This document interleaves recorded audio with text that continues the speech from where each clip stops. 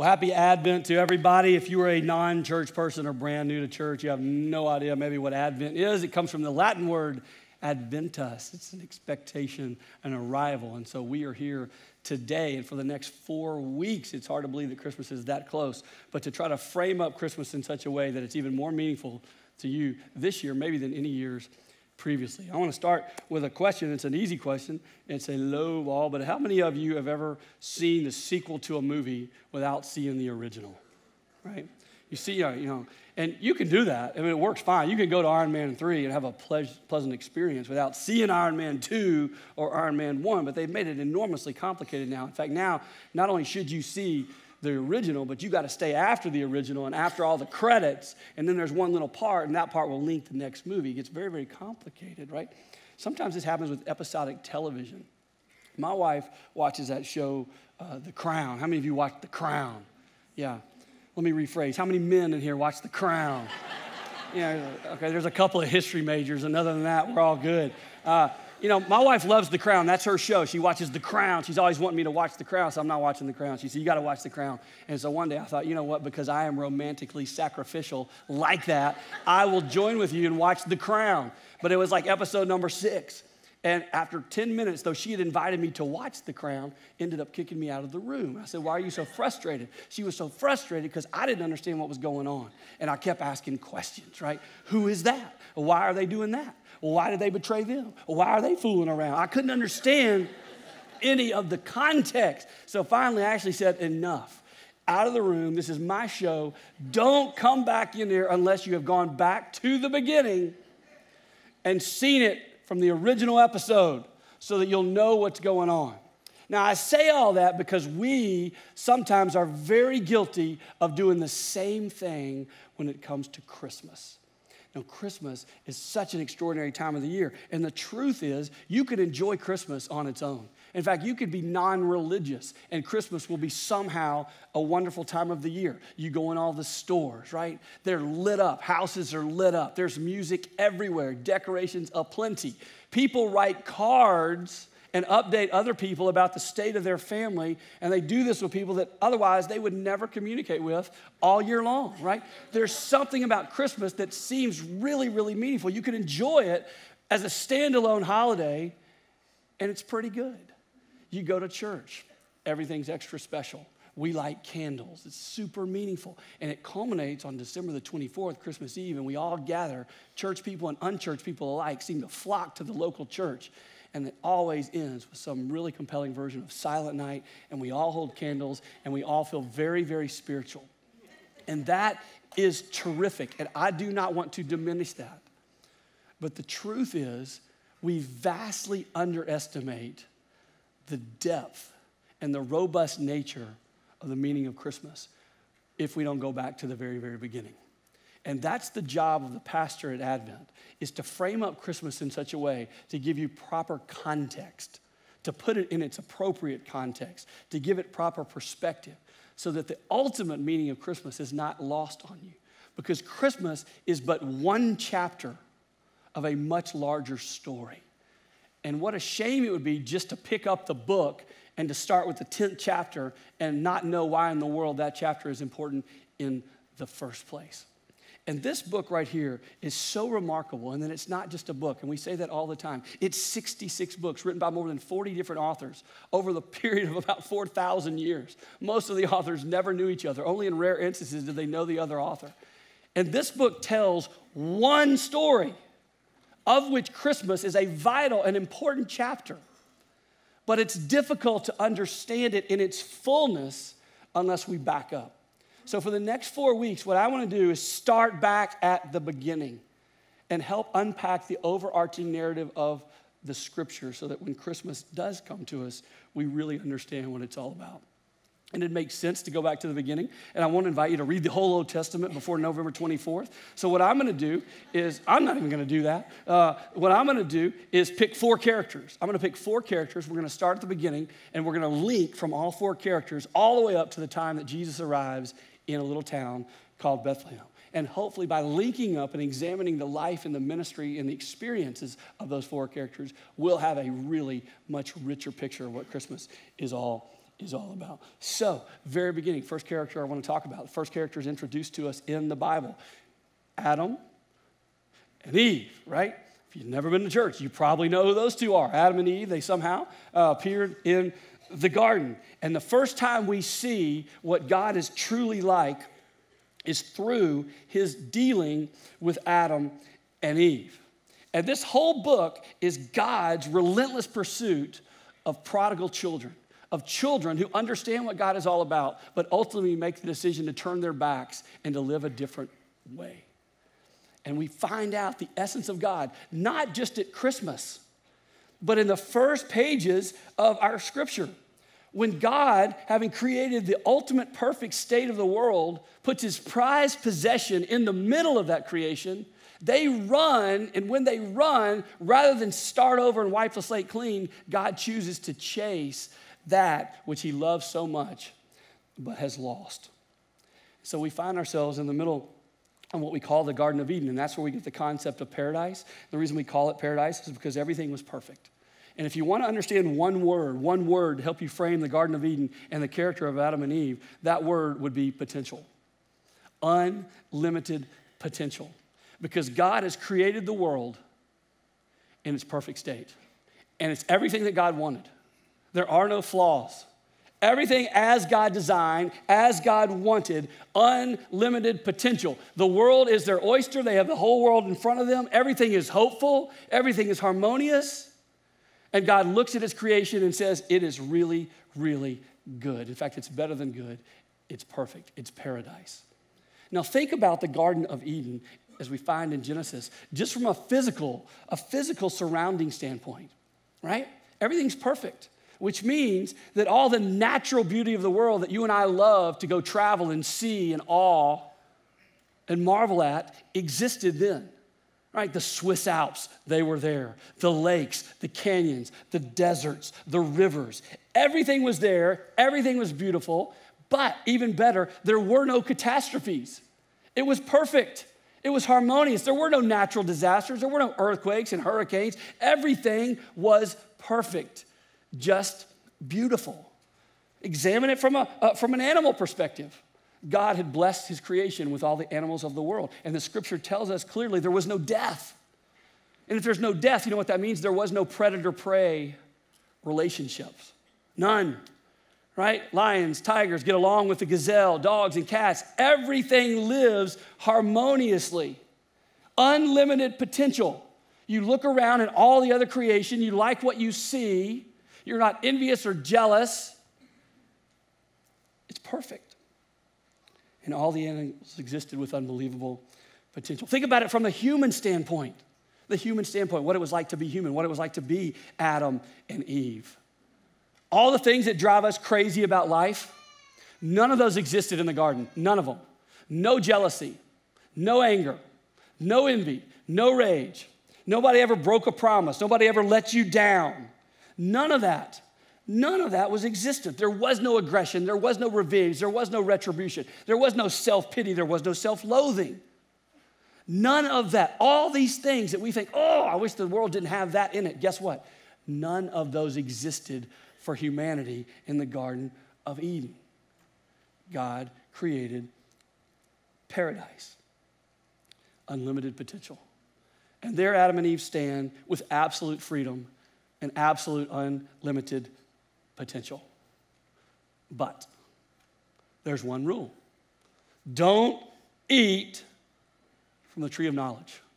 The one tree in the middle of perfection, the one tree in the middle of paradise. The only rule. Everything else you can do. They're running around naked, right? They love all this stuff. None of that stuff is shameful. They are happy and harmonious.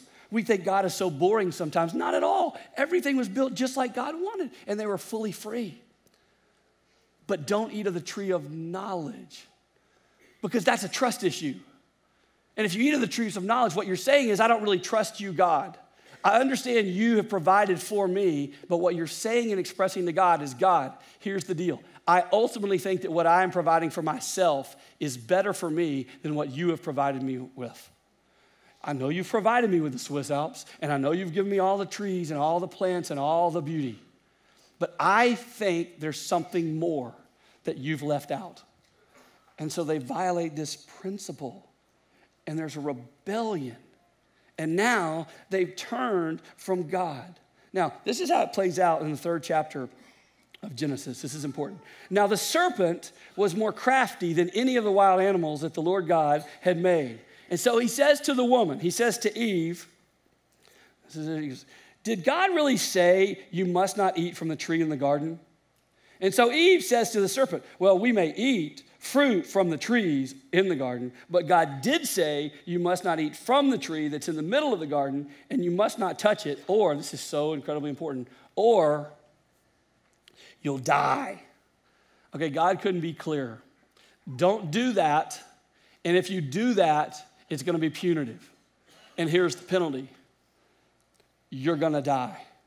We need to remember that because this is the first time, as I said, we see how God chooses to deal with those who walk away from God. And we find Eve being enticed by the serpent. And the serpent says, Wait a minute, did God really say don't eat from the tree? And she says, No, God said I could eat from any tree, but not that tree. And if we eat from that tree, we're gonna die. And the serpent says, No, no, you're not gonna die. Come on, God's got a great deal going on up in the penthouse of heaven. He just doesn't want you to know about it. And so if you eat from the tree, you're gonna know what God really has going on, and you're gonna find out all the stuff that you're lacking that God is not providing you with. This is an issue of trust. And so we're introduced to deception and distrust and disobedience. So, Adam and Eve, we find ourselves. They're kicked out of the garden. Their relationship with God in one moment is devastated. It's severed. No more relationship with God is destroyed. Why? Because God promised them. He said, Here's the deal if you do that, you die. So now they're thinking, uh oh, that's the way God is. He's retributive and we're going to die. And in this moment, this is when women start having painful childbirths. It all happens right here. This is when men and women go from loving work and finding work to be meaningful because the scripture tells us in Genesis 2 that God created work and Adam loved it. It was meaningful and it was fulfilling, and you weren't watching the clock every day, and you weren't worried about your boss, and you didn't get fired or let go. You loved showing up and doing the job there was profound meaning and reward and joy, and there wasn't exhaustion. But now, not only women have painful childbirths, but people hate work. It's laborious, it's toil, it's vanity. Adam and Eve begin to see their children murder one another. Sickness is introduced to the world. Pain is introduced to the world. Predator prey relationships, those come into play. Everything that makes our life miserable when Adam and Eve walk away from God, humanity changed right there. And it didn't just change for Adam and Eve, did it? It impacted the whole rest of time. Here's how I know that. You don't have to teach your kids to be jealous, do you? They just figure it out on their own. Right? I've never had to teach my kids to be selfish, right? Sometimes they just figure it out on all that was born out of this moment in time. So if you imagine, if you will, going all the way back to this character called Adam, what he felt. Now, I'm not a psychologist, but can you imagine how Adam felt having squandered all of this potential? A few minutes ago, unlimited potential, unlimited hope. Now, when we look behind us, all we find is regret. And when we look forward, all we find is despair because we know that God is out for us. That's problematic. And he's desperate and he's confused and he's absolutely scared to death. This massive sense of regret has come over him. And this isn't just Adam's theology. Isn't this true of you? Isn't this true of me? How many of us have been at the precipice of some decision behind which we see nothing but regret, and in front of we see nothing but despair? We've all been in a situation like Adam where we stand in the face of unlimited potential but we blow it. And we know what that feels like. And it's awful. For some of you, it may have been a first marriage. Right? You remember your first marriage when you, you just love that person more than anything, and you sent out a bunch of expensive invitations, and you spent an exorbitant amount of money gathering everybody up at a local church. And you came down at an altar and you told God and all your friends and family and neighbors and anybody else that would show up how much you love this person, and you were what? You were right in the middle of unlimited potential and all you saw was how great it was going to be that you were going to marry that person.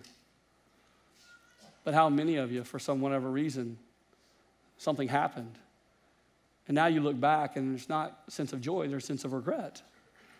And some of you look forward and it's been so devastating, you have a sense of despair. And you have to wrestle with that psychology that there was unlimited potential and somehow we blew it. For some of you, it may have been an educational opportunity that you blew. You can remember when you showed up to college and you were so fired up and you saw that catalog of all those classes. You mean I can take introduction to rock and roll? There's like an expert on that here. And they will tell, I mean, there's like an unlimited amount of knowledge. And you were going to be a doctor and you were going to be a lawyer and you were going to be a statesman or you were going to be a social worker or you were going to be a creative or an artist. And you had the world at your feet, didn't you? But you made some decisions. And it didn't work out the way that you thought it was going to work out when you had the unlimited potential that you felt in orientation.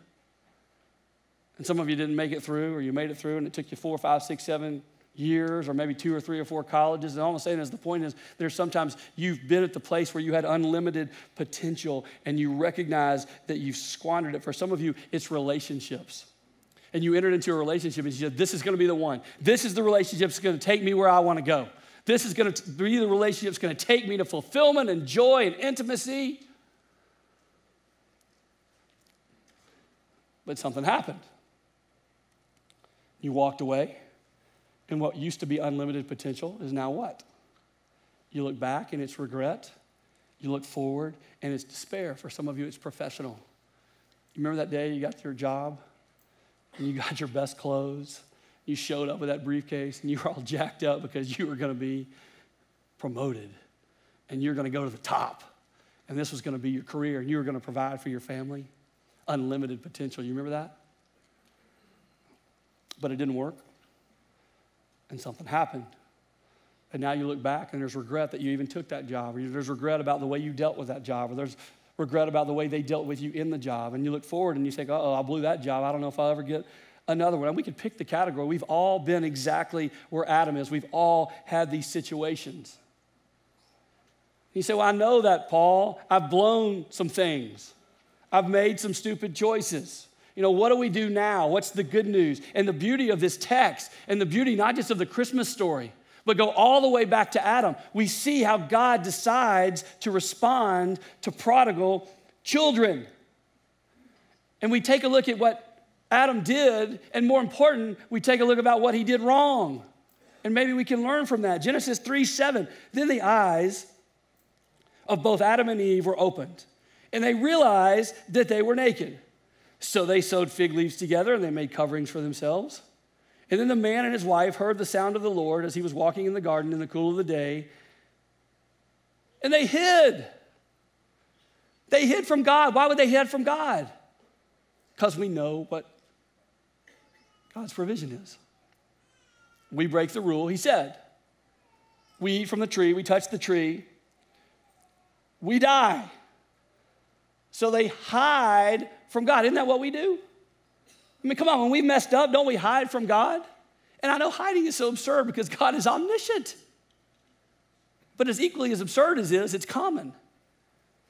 There's so many times in my life when I've messed up and I think I've got to hide from God. I can't let God know.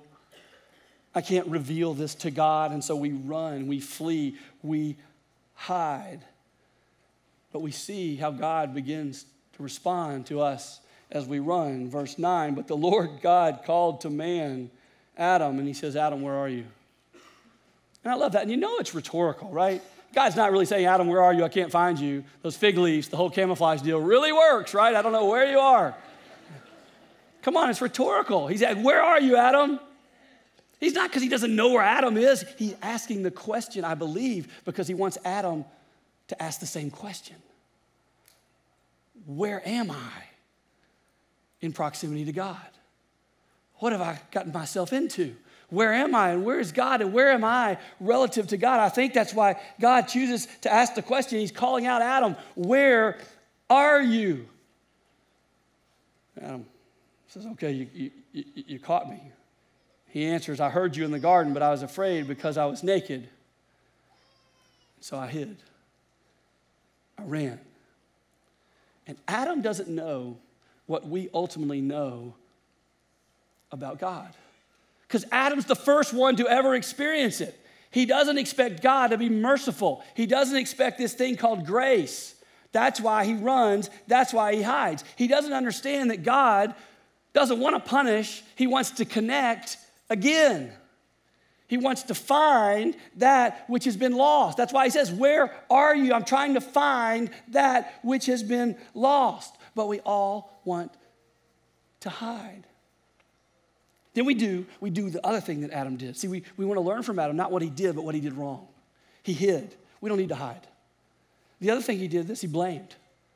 He blamed. Verse 11. And Adam, God said to Adam, Who told you that you were naked? Have you eaten from the tree that I commanded you not to eat from? And Adam said, The woman. the woman. Her, my date. It was my date. It was my date. My date made me do it. Right? I didn't even want her. I didn't even know her. I didn't ask for her, God. You sent her down here unrequested to help me out. She, we blame, this is the first thing we do, right? When we run from God and we hide, and we realize we wake up one day and realize God's really omniscient and we don't need to hide, He knows where we are anyway, then we start blaming. Well, they did it. It was them. It was family, it was friends, it was bosses, it was coaches, it was pastors, it was churches, it was the government, it was institutions, it was, it was, it was them. We blame we hide, and we blame. Blaming to me is it's unbelievable. I had a couple come see me a while back uh, about some marital crises, and he had cheated. The deal was he had cheated on her. And he was adamant to let me know that the problem was not his cheating, but it was his wife, because she wouldn't have found out had she not been spying. I'm like, bro, come on. You know where that comes from? The beginning. That's what Adam does. See, we lose sight of perspective, we lose sight of truth, we lose sight of what's really important, and all of us are so quick to blame when we're at that precipice and we've squandered away unlimited potential and we've blown opportunity. We want to hide and we want to blame. And the reason I get it, I know why Adam did it, because his understanding of God was this. He said very clearly, if we touch the tree, we die. But is that what happened?